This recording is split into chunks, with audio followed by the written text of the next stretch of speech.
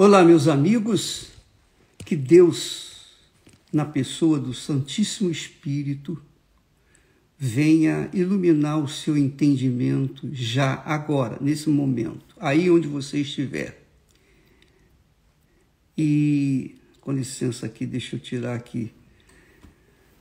Bem,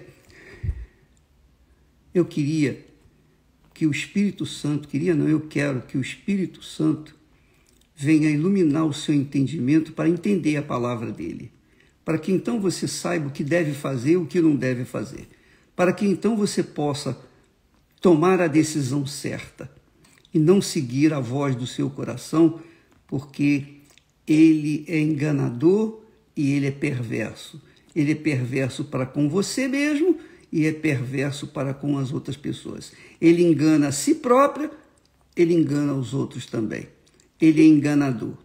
Então, nós verificamos, conferimos que quando a nossa mente começa a raciocinar de acordo com a mente de Deus, que é o Espírito Santo, então o coração, o coração, por mais enganador que seja, se a pessoa tem o Espírito Santo, naturalmente ela vai ter um coração novo, um coração submisso, não um coração ruim, não um coração mau, enganador, não um coração perverso. Ela vai ter um coração segundo o coração de Deus, segundo o coração de Davi.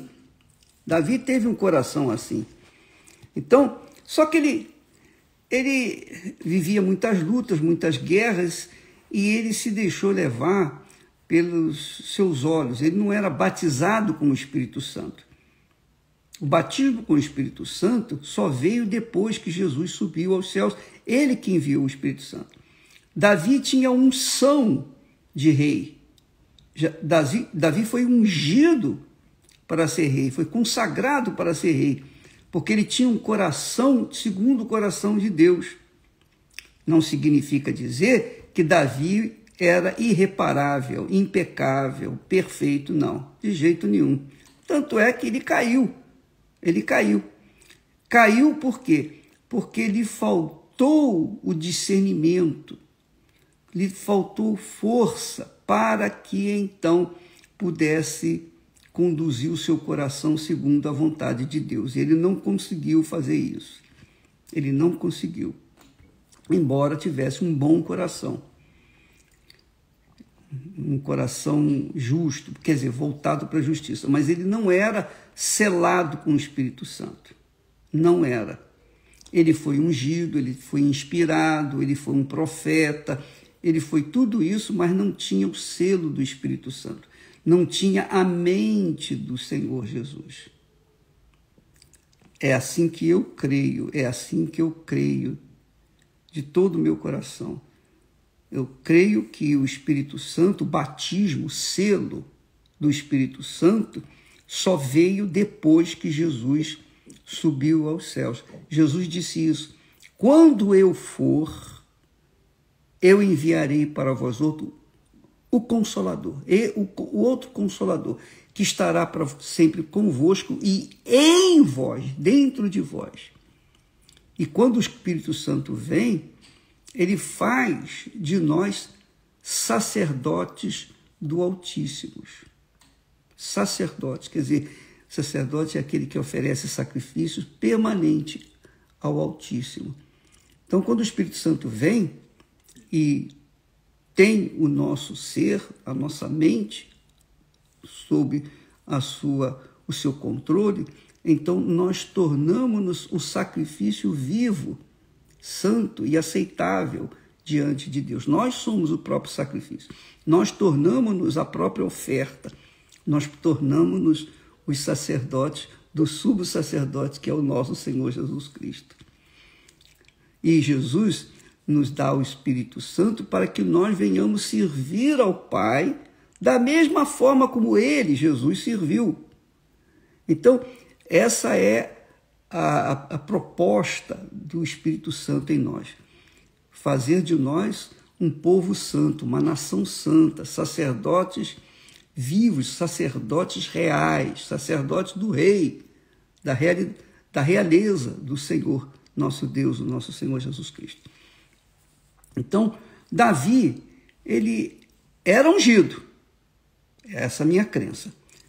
Ele tinha o coração segundo o coração de Deus. Mas na hora em que ele se corrompeu, na hora em que ele se deixou levar pela Betseba e foi lá e mandou trazê-la, cobiçou a mulher do seu melhor soldado, mais fiel soldado. É, eu pergunto, ele estava dominado pelo Espírito Santo, ele estava dirigido, conduzido, ungido. Ali, ali naquele momento ele estava, o Espírito Santo estava guiando ele? Não, não estava. Não estava. O coração dele se corrompeu.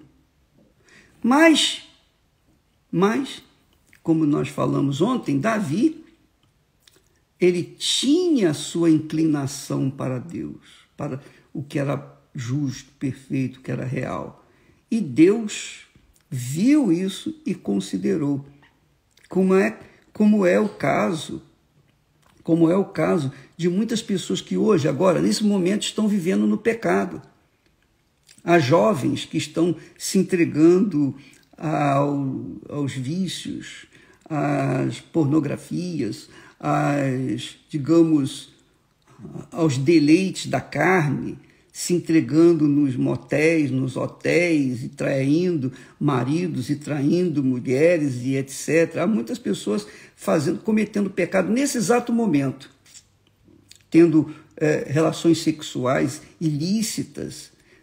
Porém, há dentro esse universo de pessoas pecadoras existem aqueles que têm sede e fome de justiça. Não são muitos, mas existem aqueles que são têm sede e fome de justiça. Então, são estes que Deus escolhe para fazer descer o Espírito Santo. Então, quando a pessoa tem uma inclinação para a justiça, por menor que seja essa inclinação, então ela é escolhida para nascer de Deus, para receber o Espírito Santo, para servir a Deus como sacerdote do Altíssimo. que maravilha isso, né? Que, que glória, porque isso dá uma esperança, uma fé nas pessoas que estão vivendo no pecado e que não querem viver no pecado. Eu sou escravo do vício, eu sou escravo do sexo, eu sou escravo disso, daquilo, daquilo outro. Mas, mesmo sendo escravo do diabo, se ela tem uma inclinação, pelo menos, para o que é justo, para o que é certo, se ela lá dentro de si ela falar, ah, meu Deus, eu estou aqui nesse leito de pecado, eu estou vendendo o meu corpo, alugando o meu corpo, mas não é isso que eu quero. Não é isso, meu Senhor. Eu quero, eu quero, eu queria ter uma vida correta, eu queria viver de cabeça erguida, eu queria te agradar, eu queria viver na justiça. Então, essa pessoa esteja onde estiver, ainda que no último minuto, no último segundo da sua vida, ela tenha essa esperança e ela esteja no momento da morte, Deus vai mandar um servo dele lá para salvar aquela criatura, porque ela teve intenções para viver na justiça. Então, era assim que Davi tinha. Já, Davi tinha essa intenção, esse coração, que é o que acontece com todos nós. Todos, todos nós, 100%, todos nós somos míseros pecadores. A diferença é que existem aqueles pecadores que continuam no pecado e gostam do pecado. E existem os pecadores que não gostam do pecado. São pecadores ou estão vivendo o pecado por conta das circunstâncias. É claro que o pecado não justifica ninguém, mas a pessoa está no pecado e deseja sair dele. Ó, eu não quero continuar assim. Então, isso é inclinação para a justiça. Então, Davi sempre teve essa, essa inclinação para o que é certo, embora contrariasse contrariasse a vontade de Deus, ele impôs ao seu coração enganador tomar posse daquela mulher proibida. Então, no, no Salmo 51, ele fala dessa desse pecado, ele fala da sua transgressão e ele se, ele, ele se arrepende amargamente, ele chorou lágrimas de sangue. Porque ontem nós falamos que ele começa dizendo: Tem misericórdia de mim, sou eu o pecador, não, são as outras pessoas. Não é com quem eu me deitei, com, eh, não é quem me ajudou a roubar, não é com quem me ajudou a adulterar. Que, não, aquela pessoa não tem nada com isso. Sou eu, eu é que quis pecar, eu é que tomei essa decisão. Então ela é, é, ela, essa criatura já é justa consigo mesmo, porque ela reconhece que ela é que pecou, que ela é que errou e não os outros. Começa assim um coração inclinado para o que é justo. Veja que ontem nós falamos versículo 1, versículo 2, agora no versículo 3. Vou repetir os primeiros versículos que ele diz: Tem misericórdia de mim, ó Deus, segundo a tua benignidade, a tua bondade. Apaga, apaga as minhas transgressões, segundo a multidão das tuas misericórdias. Lava-me. Olha só, tem misericórdia de mim, apaga as minhas transgressões e lava-me completamente da minha iniquidade. Purifica-me do meu pecado. Quer dizer, Davi não olhava para ninguém, não apontava o dedo para ninguém, tentando se justificar. Porque quando a pessoa tenta se justificar do seu pecado, ela continua no pecado e ela não consegue se livrar dele. Aí no, no versículo terceiro diz assim: ele diz, porque eu, olha só, olha só, minha amiga, ele diz, eu, eu, eu, Davi, conheço, quer dizer, tem conhecimento, tem consciência das minhas transgressões. Eu tenho consciência das minhas transgressões. E o meu pecado está sempre diante de mim. E isso é importante que se fala, porque quando ele fala eu, meu, meu coração, lava-me, purifica-me, quando ele fala tem misericórdia de mim, ele não está colocando ninguém como culpado ou coautor dos seus pecados ele assume todo o seu pecado. Ele assumiu todo o pecado dele. E essa é a grande falha das pessoas. Elas dizem: Ah, meu pai, me perdoa e tal, e tal, e tal. Mas o senhor sabe que Fulano fez isso comigo, ela destruiu a minha família, ela saiu com meu marido. Ela culpa a mulher que levou o seu marido de dentro de casa, que tirou o seu marido de dentro de casa. Então, ela carrega uma mágoa, ah, mas eu, ela fez isso comigo, porque ela, ela acha o seguinte, ela acha o seguinte, que tentando apontar o pecado dos outros, ela vai ser justificada diante de Deus. E não é assim. Não adianta você tentar culpar os outros, terceiros, por causa dos seus pecados. Enquanto você viver, viver pensando assim, você nunca vai ser justificado. Nós somos justificados pela nossa fé na palavra de Deus, não a nossa as, as nossas acusações. Fulano, não, mas fulano fez isso, Beltrano fez aquilo. Não. Então é um erro gravíssimo gravíssimo, perigosíssimo, mortal, letal, você querer encobrir os seus pecados com os pecados dos outros. Você não tem nada com os outros, você tem é com você. É a sua alma que está em jogo, é a sua alma que está em perigo. Por favor, coloque isso na sua cabeça. Não tente tampar o sol com a peneira. Não tente tampar os seus pecados com os pecados alheios. Não tente trazer os pecados dos outros, as culpas dos outros, para tentar se justificar diante de Deus, porque se Deus sabe quem você é, quem eu sou, Ele sabe perfeitamente quem nós somos. Ele conhece até as entranhas, as profundidades da nossa alma.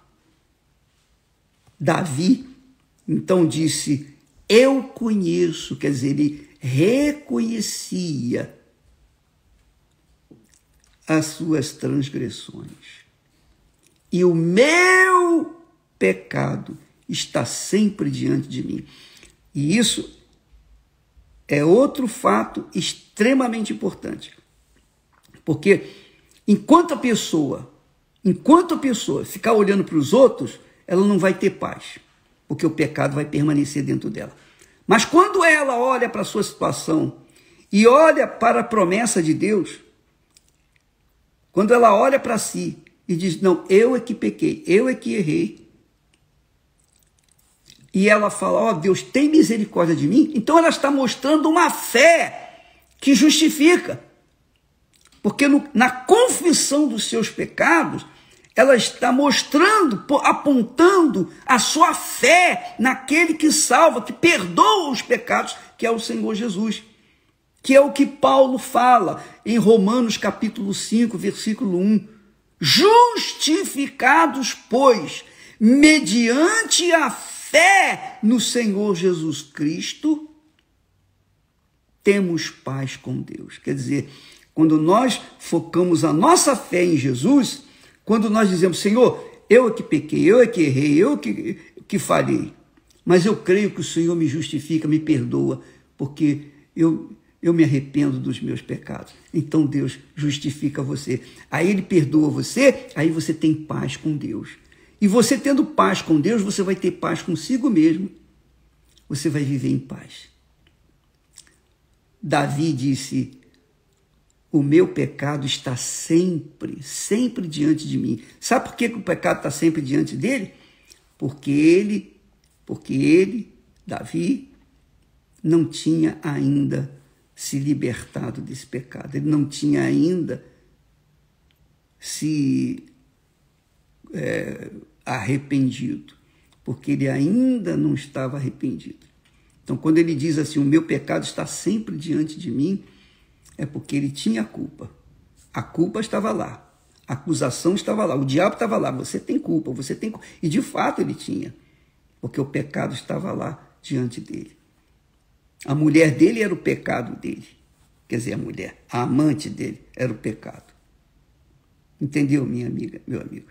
Se você quer ter paz com Deus, melhor, se você quer ter paz dentro de si, primeiro você tem que ter paz com Deus. Você tem que fazer as pazes com Deus para depois a sua alma ficar em paz consigo mesmo. Agora, essa paz só vem mediante a fé. A sua fé submissa, a sua fé sincera, verdadeira, quando você confessa os seus pecados, quando você rasga a sua alma e diz: Meu Deus, eu perdi o rumo da minha vida, eu errei, eu falhei. Eu... É, é isso que diz lá o, o, o texto das epístolas. Se confessarmos os nossos pecados, Ele é fiel para nos perdoar. Agora, confessando os seus pecados, não é do pecado dos outros, não. Não olhe para os outros. Olhe para si. Quando se trata da nossa alma, minha amiga e meu amigo, deixa eu falar para vocês com mais, é, digamos assim, clareza. Quando se trata da minha salvação, a minha, é, a minha, a salvação minha, minha, eu não coloco, eu não a, coloco a minha alma em risco por ninguém, nem pela minha esposa querida, nem pelos meus filhos. Eu não coloco a minha salvação em risco por ninguém, ninguém. Porque é a minha alma, é a minha eternidade. Eu não vou colocar nada nem ninguém, ninguém, acima do meu Senhor. Jesus disse assim: Ele disse, onde estiver o vosso coração, ou melhor, onde estiver o vosso tesouro, onde estiver o que você mais gosta nesse mundo, aí estará o seu coração. E olha, eu vou dizer para você uma coisa. nada é mais glorioso, nada é mais rico, nada é mais importante na minha vida do que a minha salvação, a salvação da minha alma. Mas essa salvação da alma se dá porque a minha fé está, sobretudo, no meu Senhor e Salvador Jesus Cristo. Então eu, eu o agradeço a cada dia pela minha salvação, salvação da minha alma. E isso se chama temor a Deus. Quando eu prezo a minha alma, a minha salvação, eu estou mostrando o meu temor para com Deus. Eu estou apontando o meu temor para com Ele, porque Ele é a razão de eu ser salvo, Ele é a razão da minha riqueza, da minha glória, Ele é a razão da minha vida eterna. Ele é o primeiro na minha vida. Ele é o primeiro. Davi disse: O meu pecado e o meu pecado está sempre diante de mim. Quer dizer, enquanto ele estava fazendo essa oração, ele estava vendo no espelho a sua alma, vendo o seu pecado. E ele diz: Olha só, contra ti, contra ti somente pequei. Olha só. Mas Davi mandou matar o marido da amante. Ele foi cruel, planejou a morte dele. Ele teve iniquidade, ele fez um, ele planejou um plano, ele fez um plano para que o, o seu rival, o marido da mulher que ele, da amante dele, pudesse ser morto e ele pudesse casar com ela. Esse pecado grotesco, brutal, cruel, desgraçado, esse pecado não foi contra a mulher, não foi contra Urias, o homem que ele mandou matar, não. Esse pecado, sobretudo, foi contra Deus. Porque se eu sou de Deus e eu cometo um pecado, eu cometo um pecado, na verdade, esse pecado eu estou cometendo contra Deus, que me confiou a minha salvação, que me confiou o Espírito Santo, que me deu o seu Espírito, que me salvou, que me perdoou dos meus pecados passados. E agora eu renovo os meus pecados? buscando novamente perdão, na verdade, eu estou pecando contra o próprio Deus, primeiro contra ele. Então, Davi disse: Contra ti, somente contra ti pequei, e fiz o que é mal à tua vista, para que seja justificado quando falares e puro quando julgares. Deus é justificado sempre, ele é justo, é perfeito. Mas Davi fala aqui de forma mais humana, ele traz a, a, a justiça de Deus, ele traz o, Deus para, um lado assim mais humano. Quando o Senhor me julgar, tudo que o Senhor falar é verdade.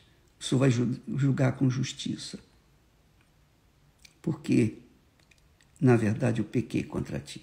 Primeiro eu pequei contra ti, depois eu pequei contra esse homem, Urias, o meu soldado tão fiel.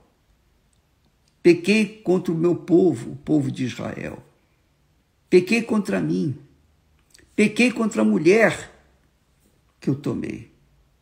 Em tudo eu fui o responsável.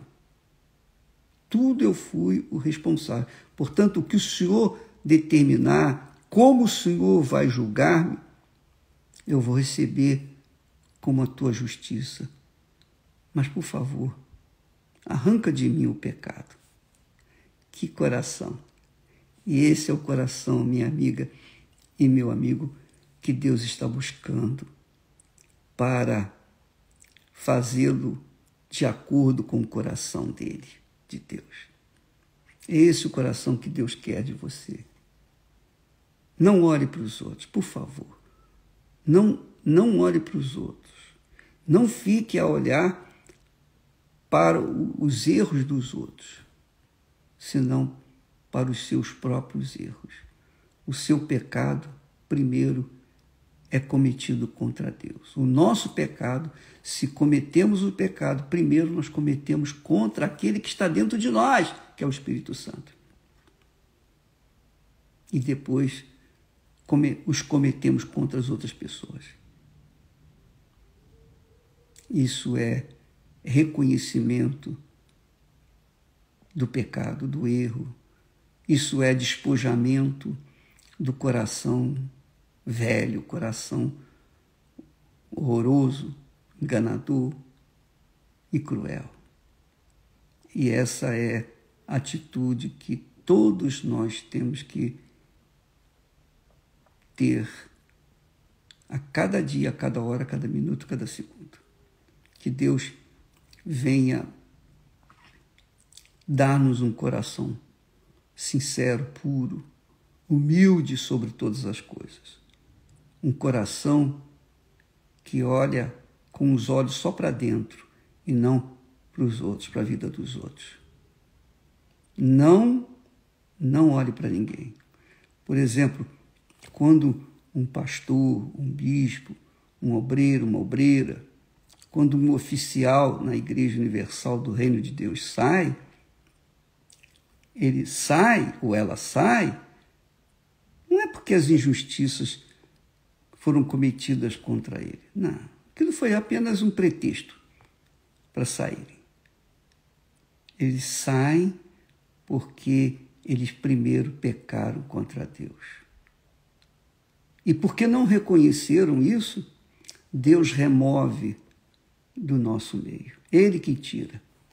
Uma vez, no início da Igreja Universal, o primeiro pastor que saiu, eu gostava muito dele, gostava muito. Eu era afeiçoada a esse pastor, gostava dele. Mas um dia ele chegou para mim, do nada, ele não tinha cometido nenhum pecado, eu não vi nada de errado nele, mas ele chegou para mim e disse assim: Pastor, naquela altura eu era pastor, que a igreja era pequenininha. Pastor, eu vou sair.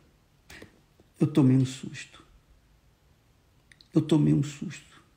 Mas eu fiquei tão abalado, tão abalado, que quando eu fui estacionar o carro na garagem, lá do edifício onde morava, eu bati o carro, porque eu estava desorientado, eu estava abalado. Eu não aceitava que ele saísse. E eu chorei. Eu chorei. E eu chorei porque não é que, eu, que aquele pastor era, digamos assim, insubstituível. Não, ninguém é insubstituível. Mas eu chorei porque eu gostava dele. Eu gostava dele. Um rapaz, boa família, etc. Eu, poxa. E quando eu chorei, o Espírito Santo me tocou, me consolou, me confortou. Sabe quais foram as palavras do Espírito Santo para mim? Ele disse assim: Se eu o tirei, por que, que você está querendo trazê-lo de volta? Fui eu quem tirei. Acabou. Acabou. Naquele momento, eu senti paz, porque o próprio Deus me convenceu que Ele é quem o havia removido. Então, quando a pessoa sai de uma obra grandiosa, gloriosa, magnífica, que é realizado no mundo inteiro. Não é pela essa obra não é a minha inteligência, a minha capacidade. Quem sou eu? Eu não tenho capacidade nem de conduzir a minha vida, quanto mais conduziu milhões e milhões de pessoas. Essa obra do Espírito Santo. E quando alguém sai dela, sai convencido de que foi injustiçado, sai apontando armas contra nós, atirando para tudo quanto é lado. Na verdade, sai porque o Espírito Santo o tirou, o tira. É isso aí. Porque a gente conhece o homem exterior, a gente não conhece o homem interior, a gente não conhece o coração de ninguém. Nem eu conheço o meu coração, que dirá o dos outros. Mas Deus conhece cada um de nós. Então, minha amiga e meu amigo, não fui eu que me elegi como bispo da Igreja Universal do Reino de Deus. Não fui eu que me elegi para uma obra de tamanha magnitude como o trabalho da Igreja Universal do Reino de Deus. Não. Não fui eu que me chamei. Não. Quando as pessoas saem atirando, apontando e falam contra mim, elas estão se condenando. Porque elas estão falando não contra mim, mas contra aquele que dirige a Igreja Universal do Reino de Deus. É o Espírito Santo. Se eu estou hoje nessa função, nesse exercício, eu estou porque o Espírito do meu Pai me tem dirigido, me tem guardado, me protegido, me tem feito sofrer pelos meus erros, pelas minhas falhas e me feito aprender a sobreviver nesse mundo hostil, cruel que nós vivemos. Então, minha amiga, meu amigo, tenha um coração de justiça. Não aponte o dedo para ninguém. Não, não fique é, culpando os outros pelos seus próprios erros. Não faça isso. Porque enquanto você fizer isso, você vai perder. O seu pecado nunca vai sair diante de você. Você vai estar sempre carregando o seu pecado e, consequentemente, nunca você vai ter paz enquanto você carregá-lo. Olhe para si. Guarde a si. Não siga os rebeldes. Porque se, só, só para você pensar só um pouquinho, só um pouquinho, raciocina comigo. Se lá no céu, onde tudo é perfeição, tudo é perfeito, era perfeito. Inclusive, Lúcifer, que quer dizer cheio de luz, foi criado para ser o principal anjo do Senhor, o principal anjo que cuidava dos outros anjos. Se ele se corrompeu, caiu por causa do orgulho, da vaidade, por causa da cobiça dele e foi expulso do céu, se lá no céu aconteceu isso, imagine aqui na terra. Imagine aqui na terra. Então, só pensar um pouquinho. Nós todos somos imperfeitos. Todos nós somos imperfeitos. Até os anjos são considerados imperfeitos diante da grandeza, da perfeição do Altíssimo Pai. Aleluia. Tenha um coração sábio, um coração humilde, um coração submisso, submisso. Humildade é submissão, serventia. Humildade é você aceitar, reconhecer que o seu pecado é seu e de mais ninguém, e que os outros não têm nada com isso com ele. Os outros têm os seus pecados pessoais, mas nós temos que cuidar de limpar o nosso coração para que este coração venha agradar a Deus e ele, Deus, ser glorificado nesse coração, tá bom? Então, esse jejum do coração é muito importante, é o mais importante. É o mais importante. Por isso que nós, quando somos batizados nas águas, o nosso, o nosso eu tem que estar sepultado, morto, para este mundo e vivo apenas para servir ao Espírito do Deus vivo. Deus abençoe a vocês e amanhã nós vamos continuar. Só para terminar e lembrar que Davi falou, porque eu conheço as minhas transgressões, eu conheço as minhas transgressões, as minhas transgressões. E o meu pecado está sempre diante de mim. Contra ti, somente contra ti pequei e fiz o que é mal à tua vista, para que sejas justificado quando falares, quando julgares, e, e puro quando julgares. É isso aí, minha amiga, meu amigo.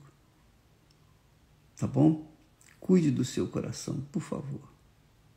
Coloque esse coração, ele tem estado nos familiares, na riqueza dessa vida.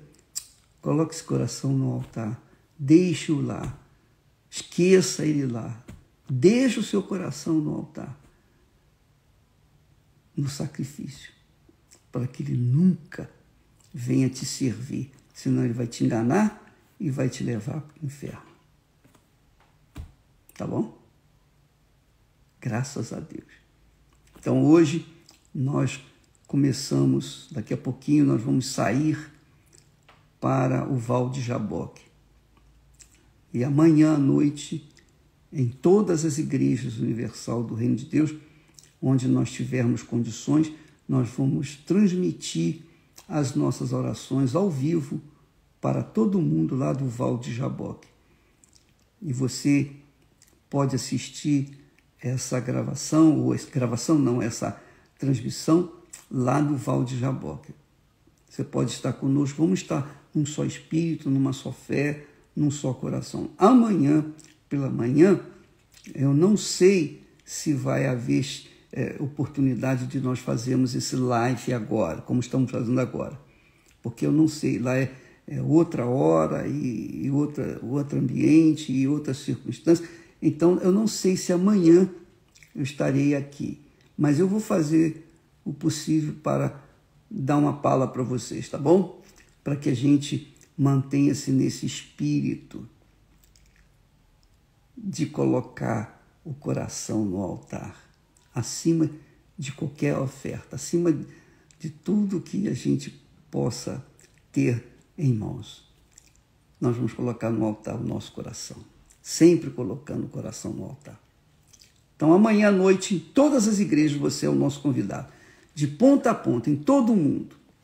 Em Angola, Moçambique, é, no Brasil, na América Latina, lá na Venezuela, na Índia, na China, onde a Igreja Universal estiver presente, vocês vão poder estar presentes conosco num só espírito, numa só fé, num só coração, no Val de Jaboque, amanhã à noite. Deus abençoe em nome do Senhor Jesus. Participe da reunião, porque vai ser transmitido para a reunião, tá bom? Até lá. Deus abençoe em nome do Senhor Jesus. Amém.